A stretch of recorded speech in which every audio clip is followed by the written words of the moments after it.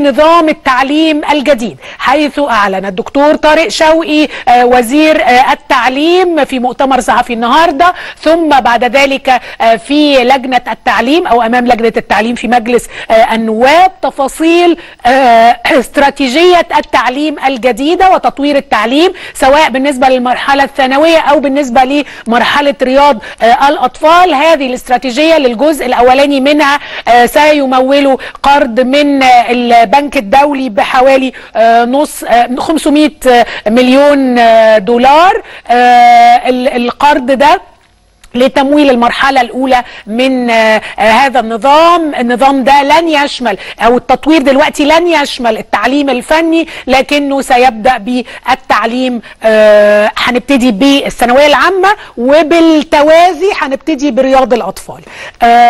قبل ما نسمع جزء من ما قاله الوزير النهاردة في المؤتمر الصحفي تعالوا نشرح لكم هو إيه النظام الجديد اللي هيبدأ تطبيقه على طلبة أولى ثانوي من سبتمبر 18 يعني خلونا واضحين كده إحنا عندنا حاجتين بيطبقوا السنة دي اللي هو من سبتمبر 18 نبتدي بنظام جديد جدا أو جديد كلية من KG 1 أو من رياض الأطفال ده النظام اللي آه، هيتخرج ولاده بعد 12 سنة. يعني ده النظام اللي من KG 1 ده هيبقى نظام جديد خالص. أي حد ولاده ال- السنة دي بيدخلوا KG 1 في مدارس خاصة أو في مدارس حكومية ما بتكلمش هنا على المدارس الدولية بتكلم على مدارس حكومية أو مدارس خاصة أو مدارس قومية أو كل المدارس اللي اللي, اللي تحت مظلة آه، الدولة.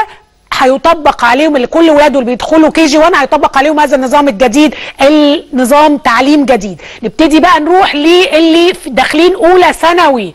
آه السنة دي أولى وإحنا عارفين عندنا أولى وثانيه وثالثه اللي داخلين أولى ثانوي السنة دي دول برضو هيطبق عليهم نظام جديد نظام امتحانات للثانوية العامة جديد آه ولكن بنفس المناهج.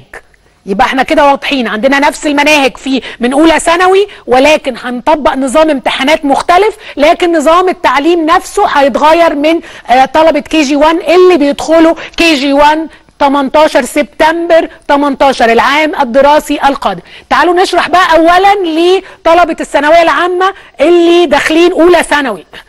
خلاص مش هيبقى في حاجة اسمها ثانوية عامة. أنا بتكلم هنا على أولى ثانوي مش بتكلم على ثانية ثانوي ولا ثالثه ثانوي بتكلم على اللي داخلين أولى ثانوي.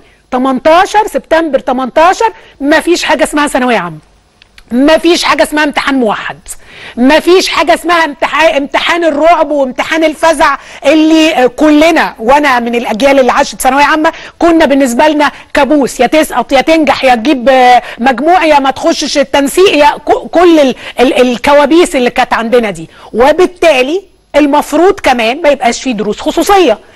خلونا نشرح للناس بالظبط بالتفاصيل كده ببعض المعلومات. إيه هو النظام الجديد؟ النظام ده هيبدأ من سبتمبر 18 زي ما قلت لكم بيشمل كل المدارس ما عدا المدارس الدولية لأن دي لها نظام مختلف. الطالب من أولى ثانوي حتى ثالثه ثانوي بيخوض 12 امتحان.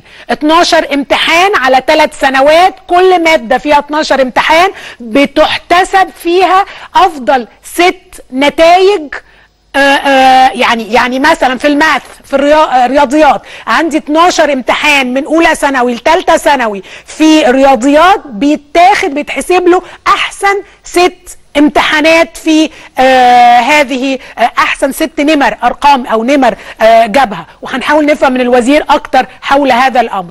آه الأدبي والعلمي بعد 12 سنة هيتلغي خلاص لكن دلوقتي لسه موجود. دلوقتي إحنا لسه في نفس النظام ولكن هذا التقسيمة بقى شعبتي الأدبي والعلمي دي هتتلغي بعد آه 12 سنة. مفيش حاجة اسمها إجابة نموذجية.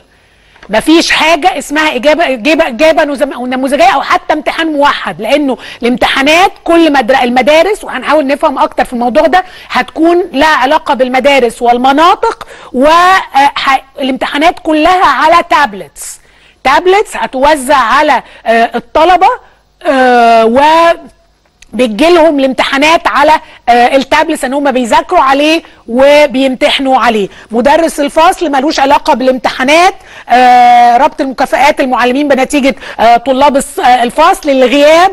مهم جدا الحضور والغياب أساسي. عشان بقى ال- ال- الطلبة والمدرسين اللي ما بيروحوش. إحنا دلوقتي هنعود لمدرسة طبيعية فيها الطالب بيروح المدرسة. لازم تروح المدرسة لأنك لو ما رحتش المدرسة وعندك المدرس هياخد الغياب لو ما رحتش المدرسة عندنا مشكلة لأنك مش هتقدر تدخل الامتحانات. هيتم التطبيق آه، آه، بالمناهج الحالية إلى حين تغييرها وقلنا زي ما قلت لكم هنبتدي بالتابلت والكتاب. في البداية تابلت والكتاب معا لحد ما يتعود الطالب على موضوع التابلت. مش هنسيب تابلت بس لكن هنعمل تابلت وكتاب علشان يبقوا مع بعض فما يبقاش الصدمة مرة واحدة فالطالب مش متعود لأن إحنا بنتكلم على أولى ثانوي هو بقاله 10 س- تسع سنين تسع سنين آه بيذاكر من الكتاب ففجأة يذاكر من التابلت ممكن تبقى مش مريحة بالنسبة له ولكن ده اللي هنبتدي بيه التابلت والكتاب آه مع بعض آه آه زي ما قلت لكم آه آه التابلتس هتكون هتوزع مجانا هيكون هناك آه، انترنت فائق السرعه آه، في المدارس علشان آه، الولاد يبتدوا يشتغلوا على على الإنترنت. الدولة هتؤمن على أجهزة التابلت من الضياع والتلف ولن يتم استرجاعها من الطلبة. بنوك أسئلة وامتحانات هتكون على مستوى المدرسة وليس مستوى الجمهورية. يعني الامتحانات زي ما قلنا لكم هتكون على مستوى المدرسة والمنطقة وليس والمحافظات وليس مستوى آه، الجمهورية. ده بالنسبة للثانوية العامة. نبتدي بقى لرياض الأطفال. هنبتدي بقى مع رياض الأطفال. آه، نظام جديد تماما. 3 مليون طفل هيلتحقوا بالمنظومة الجديدة برياض الأطفال العام المقبل. هيركز النظام الجديد.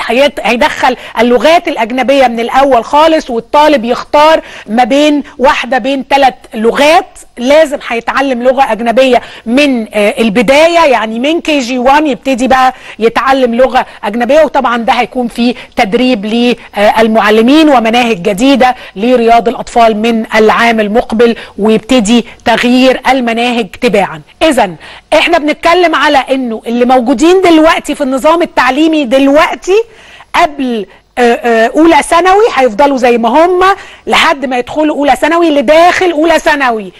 سبتمبر 2018 هيطبق عليه نظام الامتحانات الجديد. مش هسميه نظام التعليم الجديد لأنه لسه مش نظام تعليم جديد ولكن ده نظام الامتحانات الجديد اللي مش هيكون فيه بعبع الثانوية العامة آه، اللي هيكون فيه 12 امتحان على ثلاث سنين اللي هيكون فيه آه، نظام ال GPA ال GPA اللي هو ال grade point average اللي هو بناخد أعلى الأرقام بناخد متوسط أعلى آه، الأرقام ومش بناخد آه، ما بيبقاش عندنا امتحان واحد فاصل حاسم جامع آه، آه، قاتل زي ما كان الثانوية العامة. اللي بيدخل ولاده كي جي 1 أو روضة أول صف خالص في النظام التعليمي ده بقى اللي هيطبق عليه النظام الجديد نظام التعليم الجديد.